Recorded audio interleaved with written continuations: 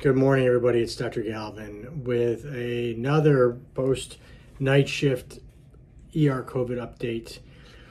Continues to be very, very insane here. Um, last night, uh, there's a we have a, a, tracking board, you know, that we follow things, and there's a little globe symbol uh, next to people that have COVID. And at one point, I looked over at the board, and, and basically three quarters of the of the patients on the tracker were COVID patients. It's it's insane. I've never. I, keep saying this. I've never seen anything like it. I haven't. Uh, none of us have. It's it's uh, it is really um, uh, the amount of COVID patients I've seen in the last weekend. I think this weekend I've probably seen more COVID patients than I've seen, you know, at any other time. It seems like probably 60% of what we saw uh, was COVID. Many of them, you know, fairly sick.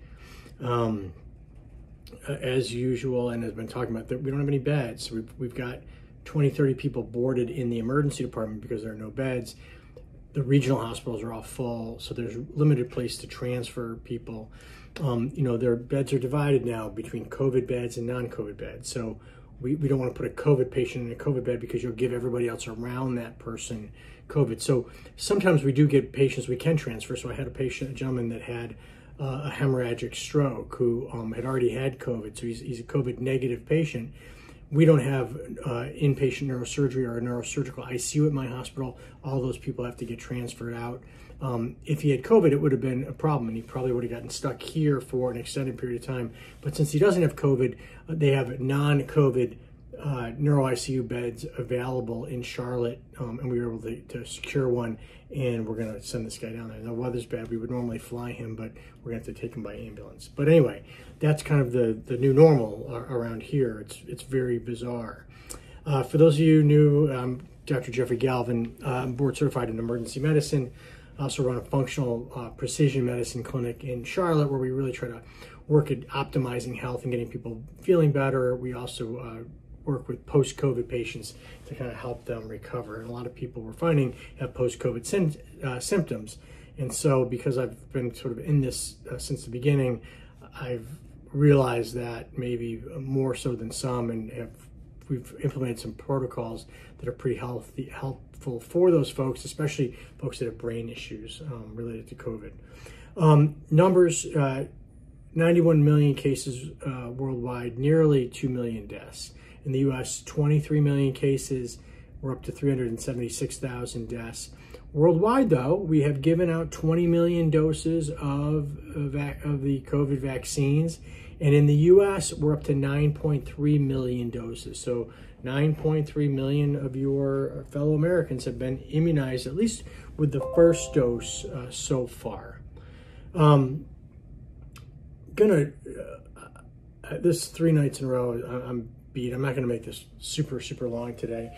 Um, if you haven't seen the previous ones, we did, it might be worthwhile to go watch the one from the first night when I talked about um, COVID immunization uh, myths.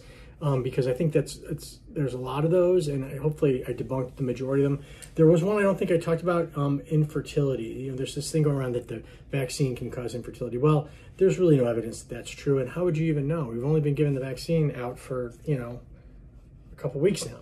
So um, how would we know it could cause infertility?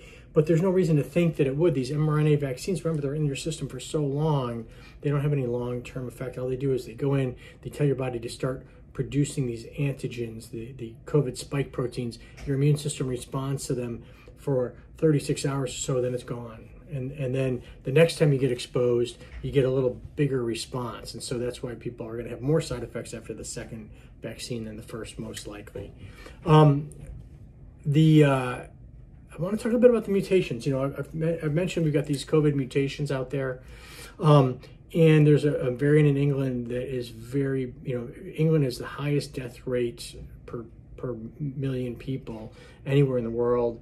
Their cases are, are through the roof. They're in a real bad situation there, and a lot has to do with this this variant there. And it's not more deadly, but it's more infectious, and more infectious is way worse than more deadly because you get exponential growth, and that's what they're seeing there, and it continues to get worse and worse and worse.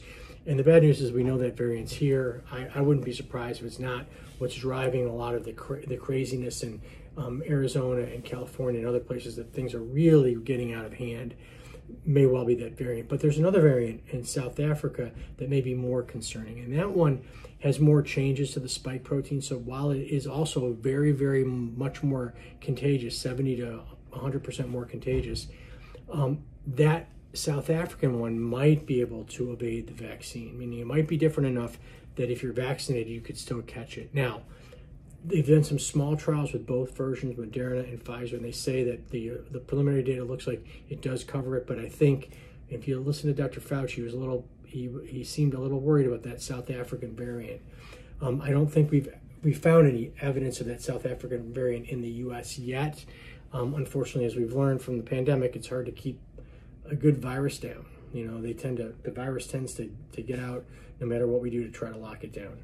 Um, I want to talk uh, about um, the flu because you know a lot of the people are are are believing these conspiracies. You know, they keep saying, "Where's the flu? The flu's gone." And you know what? You're right. We haven't seen any flu. I, I haven't seen a single flu case. Um, I think U.S. wide we've had a thousand. I think recorded a thousand cases of the flu so far this year. I think last year we had 65,000. So it's clearly a big conspiracy, right? We must be calling flu COVID or some, you know, somebody's out doing something wrong. No, it, it's it's science. You know, let's think about it.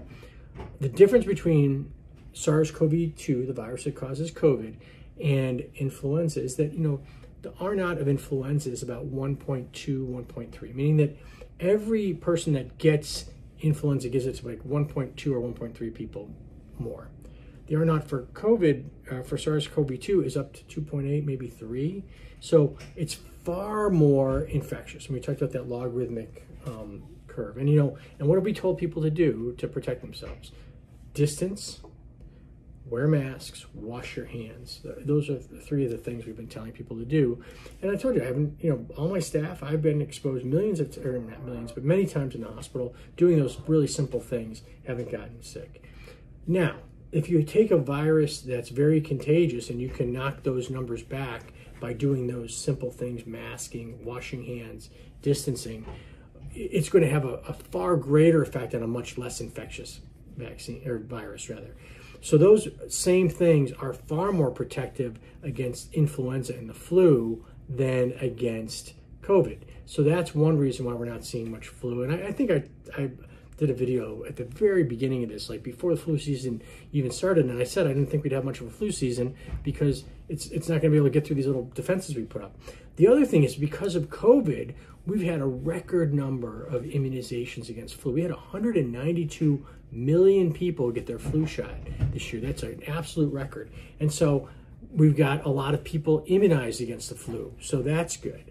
Um, the high vaccination rates are, are, are, going to lower things. So we've got, you know, essentially are achieving herd immunity, right? Because the reason we're not getting much flu is because there are not a lot of susceptible hosts. Viruses need susceptible hosts to, to, to propagate. If you're resistant, I've gotten uh, a vaccine, so I've got my flu shot. I'm resistant. You can't give it to me, and then it, it's harder. The, the flu, the virus can't get itself spread around. And if we then do masks and distancing, we really cut their ability to go from person to person. So the the the missing in action of the flu is not some big conspiracy. It's science. It makes a lot of sense, um, and it doesn't surprise me a, a, a bit. And it's not like Bill Gates or whatever people are going to probably message me privately about my you know total ignorance about all things COVID because I'm I'm a part of the system and I'm you know I'm shilling whatever. Um, you wouldn't believe the, the, messages I get from people. You know, um, I have a little bit of an education of social media since March. I'll tell you that much. Anyway, um, on a lighter note, we just found out that gorillas can get COVID. Two gorillas at the San Diego Zoo apparently developed URI symptoms, and for some reason they tested them for COVID, and they that's what they got. Um, hopefully they'll. I'm, I'm, wishing the gorillas well. Hopefully that they'll feel better soon. Uh, I'm gonna stop it there. Now I'm gonna ask. A, I'm gonna ask a. I'm gonna have a request because you know I run this clinic right, and we really are optimizing health and and wanting to make people healthier. And you know we're going into a, a series of months where it's going to be really, really dangerous. We're going to see a lot of bad news. And so, good health and both mental, physical, metabolic health is really important. So, I'm going to try to shift to doing more wellness videos. But what I'd like to know from from people who are watching this is what types of things do you want me to talk about? Um, you know, in my clinic, we do everything from weight loss to hormone therapy. Um, we do precision medicine, advanced lab work, advanced cardiovascular testing, genetic testing. We do fitness testing, body composition testing. We do all kinds of, things.